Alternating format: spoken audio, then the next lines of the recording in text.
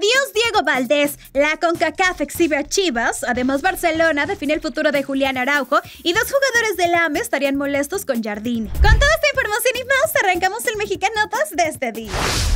¿La CONCACAF exhibe a Chivas? Ayer las Chivas consiguieron un triunfo en contra del Forge FC y están en los octavos de final. Los goles del rebaño fueron obra de Eric Gutiérrez y de José Castillo, rescatando también el partidazo que dio Oscar Wally, lo que nos hace ver que hay una buena batalla interna en la portería del rebaño. Pero hubo algo más que llamó la atención de algunos seguidores y medios de comunicación. El tema de los registros de algunos jugadores de Chivas. Y es que mientras para la Liga MX, Oscar Wally, Kate Cowell y Leonardo Sepúlveda cuentan como mexicanos, para la CONCACAF el portero es español y los otros dos jugadores estadounidenses.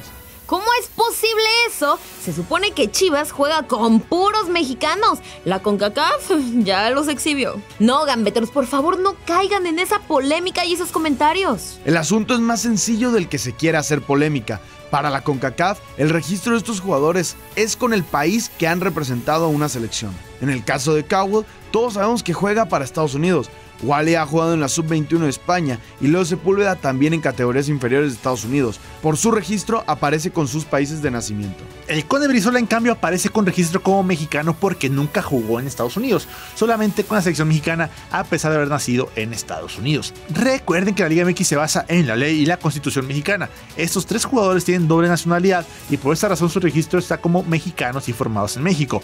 Fin de la polémica, señores. Partidazos en la People's League, señores. Comenzó la jornada 3 de la People's League y vaya forma de iniciarla. Sisa FC y Cachorros Fútbol de Barrio empataron a 6 goles, por lo que el partido se tuvo que ir hasta el cobro de shootouts en donde se llevó el partido los Cachorros. Reta FC se lleva apretada victoria.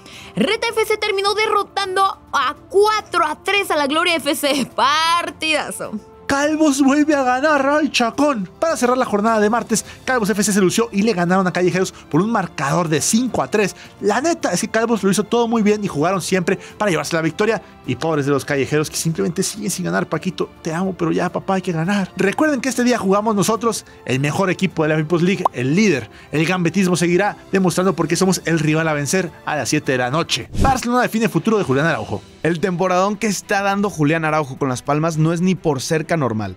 Es por esta razón que desde España ya especulan qué pasará con el mexicano, pues las Palmas están muy interesadas en comprar al jugador después de que se ha convertido en un jugador clave. Pero en el Barcelona no lo quieren dejar ir. Según reporta el diario Sport y también marca, en el Barcelona tienen claro que quieren de regreso a Julián. Desde Barcelona están muy contentos con la evolución del mexicano. Lo ven como un futbolista capaz de competir por un puesto en el primer equipo titular. Lo ven como un futbolista capaz de competir por un puesto en el equipo titular. O por lo menos poder hacer una competencia interna fuerte. En España dan como hecho que llegará para la siguiente temporada, algo que sin duda es bueno para el jugador, aunque tendrá que seguir con ese buen nivel para poder ganarle la titularidad a Joao Cancelo si es que el portugués se queda en Barcelona. ¿Les parece bien el regreso de Araujo al Barça? Yo los leo en los comentarios. Gago no piensa en el AME. En medio de la emoción por haber avanzado a los octavos de final de la CONCACAF, otro tema salió a relucir. Se pueden jugar tres clásicos seguidos. En caso de que hoy el América consiga avanzar a los octavos de final, el clásico nacional se jugará tres veces, la ida y la vuelta de la CONCA Champions y el partido de la liga local. Gago dijo que no empiecen, que si se juegan los clásicos, todo chido, pero Chivas va partido a partido sin pensar mucho del futuro.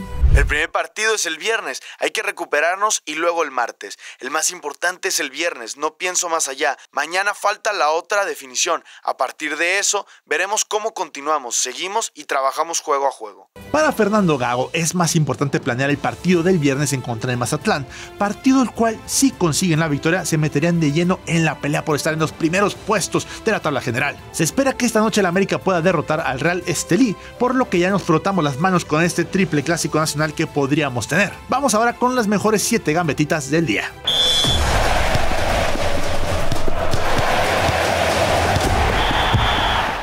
¡7! Chino Huerta fuera. La lesión de Chino Huerta sigue dando dolores de cabeza al jugador y a los Pumas. Este día Atlas y Pumas adelantaron su juego de la fecha 9, pero el chino no viajó con el equipo y será baja.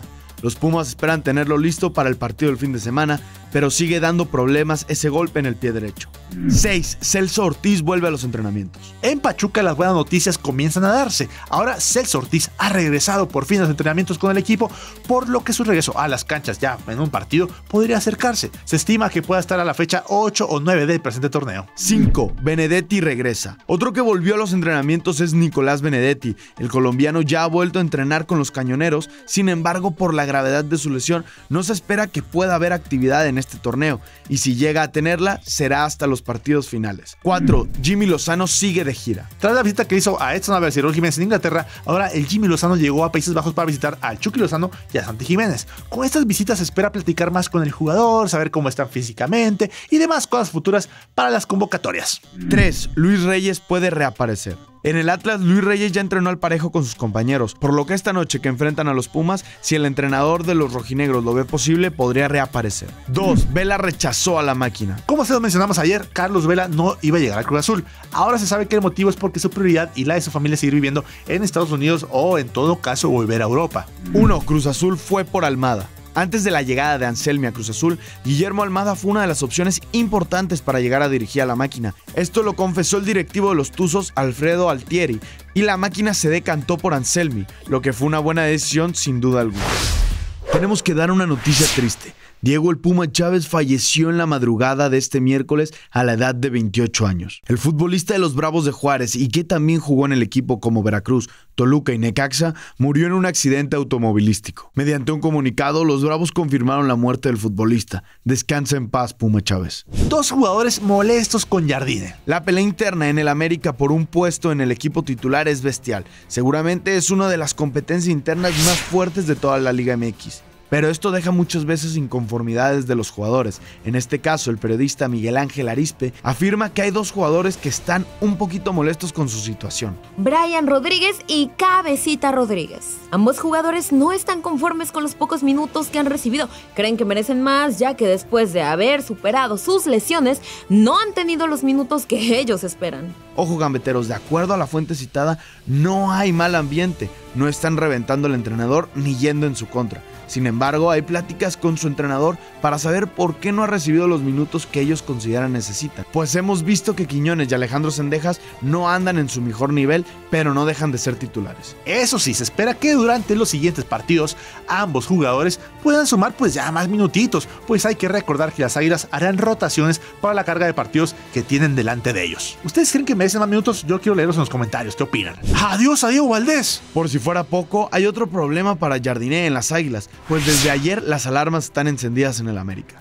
Resulta que ayer en el reconocimiento de cancha que hizo el equipo en el estadio de Ciudad de los Deportes, tres jugadores no pudieron entrenar. Richard Sánchez, Emilio Lara y Diego Valdés. Pero es el número 10 de las Águilas quien más preocupa en el equipo. Fue el mismo Jardiné quien confirmó que Valdés es muy poco probable que pueda jugar tras una molestia en el gemelo y no buscaría arriesgarlo. Fue el mismo Jardiné quien confirmó que Valdés es muy poco probable que pueda jugar, trae una molestia en el gemelo y no buscaría arriesgarlo. De hecho, Jardiné comentó anoche que hasta hoy iba a decidir si le daba minutos o no. Sin embargo, distintos medios afirman que no será opción para el partido de esta noche. De acuerdo al periodista César Caballero, buscan guardarlo para el partido del fin de semana contra Pachuca, pero también le podrían dar descanso para que no recaiga una lesión mayor y sea más grave. Si bien es claro que el América es el favorito para ganar el día de hoy, la baja de Diego Valdés siempre es bastante sensible para las Águilas. Pero mientras esté Fidalgo no hay problema, señores.